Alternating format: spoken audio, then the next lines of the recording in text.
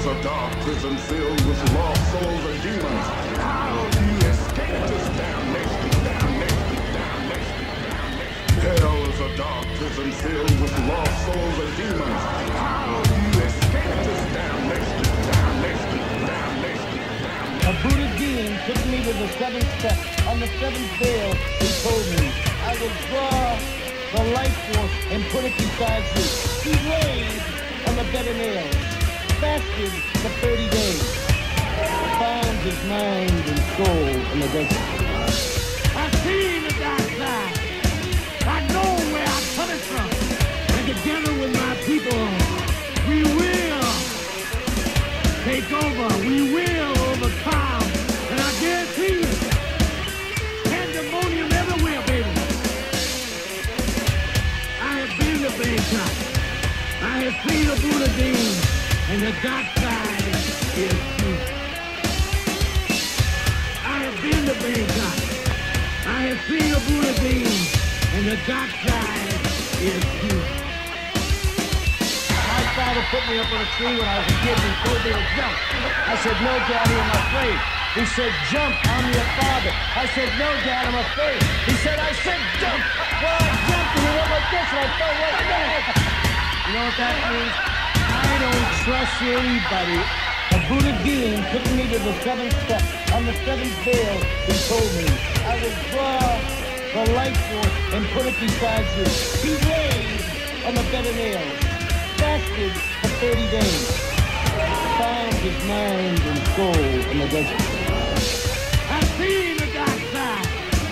I know where I'm coming from. And together with my people, we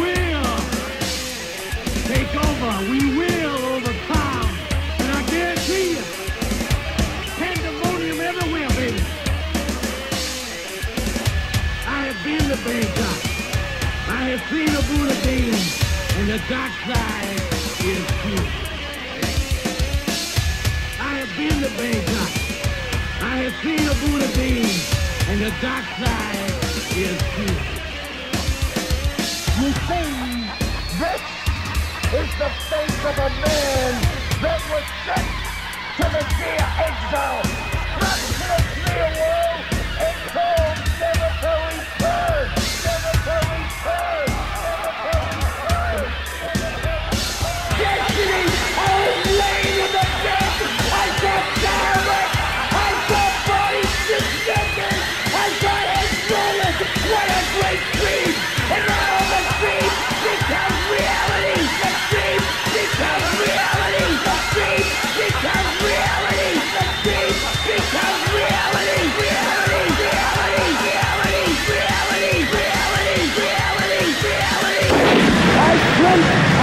shackled to the tree woe. The vultures were flying above me. And I heard the banshees howl. And I heard the death wagon starting to roll.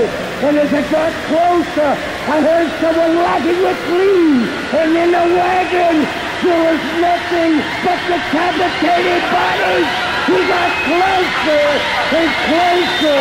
But you see, this is the face of a man that was sent to the dear exile, struck the clear wall, and told never to return.